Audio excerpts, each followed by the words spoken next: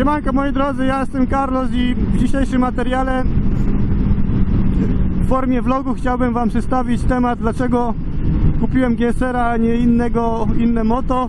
Ci co wiedzą, co oglądają mój kanał od jakiegoś tam czasu już wiedzą, że po Romecie miał być prawdopodobnie Hyosung GT 650, ale dlaczego nie jest?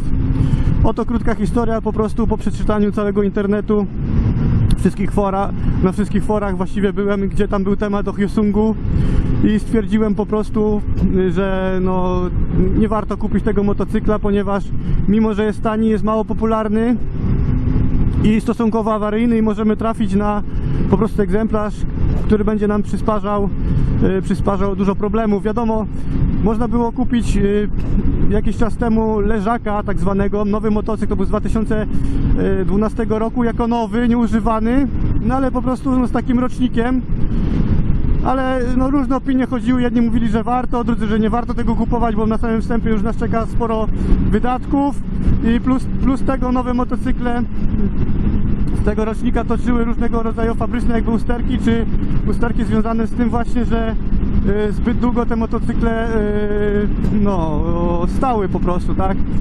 Czyli wymiana płynów ustrojowych, opon, no i różne tam różne inne rzeczy. Historia generalnie już była taka, że znalazłem na Oliksie Hyosunga właśnie z 2012 roku. Tyle, że już użytkowanego przez osobę. Hyosung miał najechane tam 20 coś tysięcy. I po, po, prostu w telefonie do gościa wszystkie usterki, które, o których czytałem, ten motocykl już przeszedł, czyli nawet wymianę zbiornika, y, jakieś tam zapieczone hamulce, awaria licznika i coś tam jeszcze inne rzeczy, których nie pamiętam. I jak już miałem jechać, już miałem załatwiać przyczepkę właściwie i mówię ostateczny telefon do gościa, już miałem dzwonić i mówić, właśnie dzwoniłem do gościa i mówię, że jestem zdecydowany, że będę.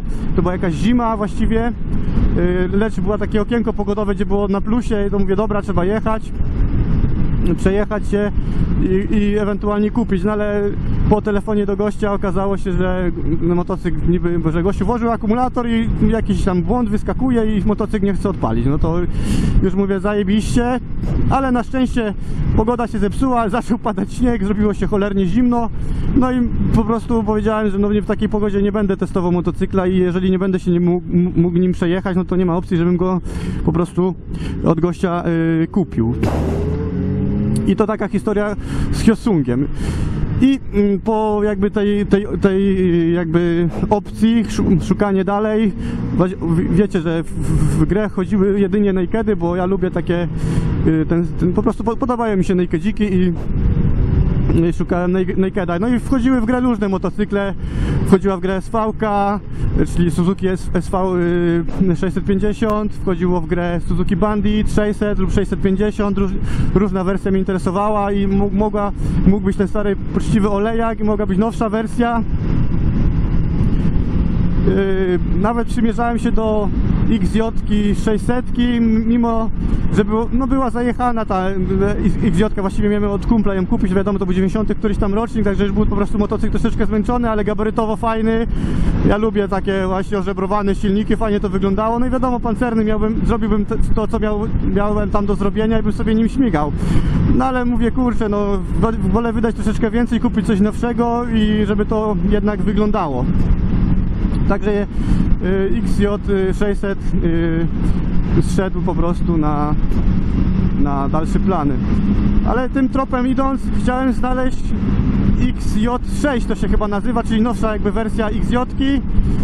No były na internetach różne, tylko był taki problem, że no były daleko po prostu, no były daleko. Ja powiedziałem, nie będę nigdy w życiu jeździł po samochód, ani po yy, motocykl, ani po inną rzecz 300 czy ileś kilometrów, żeby potem po prostu się rozczarować i tego nie kupić, bo okaże się, wie, wiecie, wydać pieniądze na, na paliwo,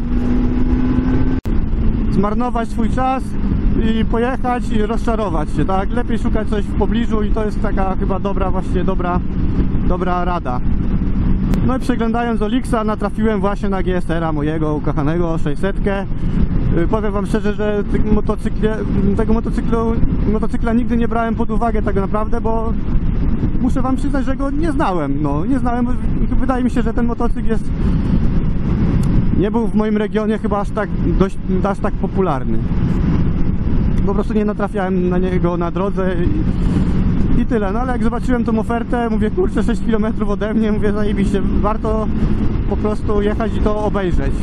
Zacząłem oczywiście czytać w internecie o tych GSR-ach, no i na co natrafiłem od razu, że pękająca aluminiowa rama, żeby tego nie kupować, bo to y, jakieś mity, tam w ogóle ludzie głupoty piszą.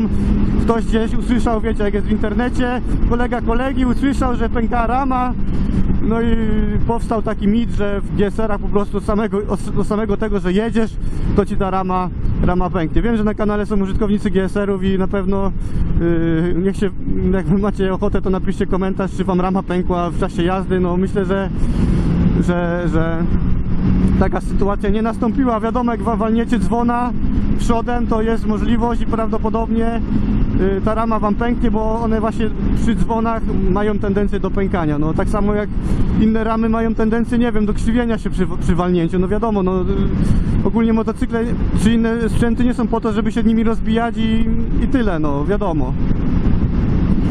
Y, Także polecali, wiecie, jak jedziecie oglądać, to y, spójrzcie pod zbiornik. No widzieliście filmy też, jak ze spinkami był problem, żeby je odkręcić, także myślę, że no nie, nie każdemu może podpasować to, żeby rozbierać wam zbiornik, podnosić do góry. Oczywiście jak się uprzecie i gościu będzie i się na to zgodzi, to wam go roz, roz, będzie go chciał bardzo sprzedać, to wam go rozbierze i pokaże. No ale na przykład jakby ten, ja bym par na gościa, żeby mi pokazywał ramy, no to miałby problem, żeby te spinki po prostu odkręcić.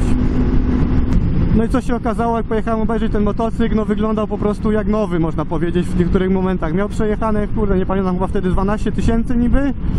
Jeszcze oponę z miał fabryczną, no tyle, że był, jak widzieliście tam y, w, w poprzednim jakimś tam moim filmie, że jest troszeczkę był poobdzierany, nie wiem co gościu z nim robi, jakąś parkingówkę musiał zaliczyć.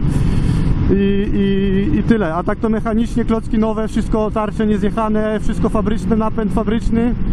Także to było mm, mm, to było, że tak powiem yy, wszystko nowe, no po prostu. Historia była taka, że gościu go kupił, jak miał przebieg chyba 6000, coś mówił, od, od z zagranicy i kupił ten motocykl. Yy, także zrobił przez kurczę, nie wiem ile on go tam posiadał, no przez ten czas, który go posiadał dłuższy, zrobił nim 6000, z czego yy, te, większość tego przebiegu było zrobione na samym początku, jakby kiedy gościu go kupił, a potem właściwie ten motocykl, y, motocykl stał, także no też nie za dobrze, no ale no widzicie, no, że wszystko co było do wymiany, oponki, płyny, no jest, jest gitara, także mimo, że też leżakował jakiś czas, wszystko z motocyklem jest do tej pory y, ok. No i było widać po prostu, wiecie, no spojrzycie na coś, no to ja też nie byłem, nie jestem jakimś fachowcem, to był mój pierwszy motocykl, który oglądałem jakby, yy, znaczy pierwszy w sensie, yy, nie jak oglądałem, tylko pierwszy motocykl, który yy, jakby sam, o, sam wybierałem, o, może tak, że sam musiałem ocenić, czy po prostu to się nadaje do kupienia, czy się nie nadaje. No i taka, drodzy, moi, moi drodzy, historia. Oczywiście nie żałuję, że go kupiłem. Motocykl nie, nie, według mnie nie ma dużo wad, ma po prostu swoją charakterystykę, która może komuś odpowiadać lub nie. No, ja po przejechaniu już dwóch sezonów, dwóch? Nie, teraz leci? Drugi? Tak, teraz leci drugi, teraz sobie jeżdżę nimi i stwierdzam, że no Nakedzik elegancki, do miasta wyśmienity, większe podróże może już niekoniecznie, ponieważ pozycja na motocyklu jest dość, można powiedzieć, jak Nakeda spo- sportowa, nogi zwłaszcza, sylwetka lekko pochylona, no jak to w podróży, wiecie, jak się jedzie, wiatr napierdziela, no to w nakedach jest yy, norma, no. Silniczek elegancki, żwawy, liniowy, ma dużą moc, fajny moment, 100 koni, moi drodzy, to naprawdę jest fajnie. Mm, Myślę, że nadaje się dla początkujących, bo oddaje moc liniowo, ale jak po prostu odkręcimy, to będzie sobie, yy, będzie sobie po prostu yy, jechał tak, jak, jak chcemy. No i tyle w temacie.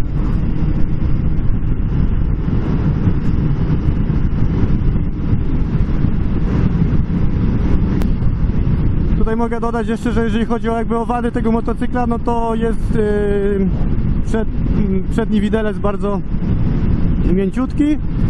I to jest fakt, mi tam nie dobija ten widelec, także nie ma tragedii z tym. Nie wymieniałem jeszcze oleju w tym, może wymienię, ale no jak na razie mi to jakoś tam nie przeszkadza. Ja też nie, nie mam ten. Nie mam potrzeby, żeby ten widelec był sztywniejszy jak na razie. No. Według mnie ten motocykl, do, do, jeżeli chodzi o turystyki, w dwie osoby raczej się nie nadaje. Ubieranie go w kufry, no myślę, że jest nie jest dobrym pomysłem, bo po prostu to jest nakedzik i myślę, że ten typowy nakedzik, który naprawdę odnajdzie się w mieście bardzo dobrze, w podróży nie za bardzo, ale oczywiście można nim jechać sobie w trasę od czasu do czasu. I tyle moi drodzy, wejdźcie na Instagrama, bo jest tam fajne zdjęcie propozycji ubioru Tomasza na motocykl, także super tania opcja i może naprawdę być wygodnie. Także wpadniajcie do, do Insta- na Instagrama, tam zobaczycie fajne zdjęcie. Napiszcie co sądzicie o moim wywodzie. Jelo, do następnego.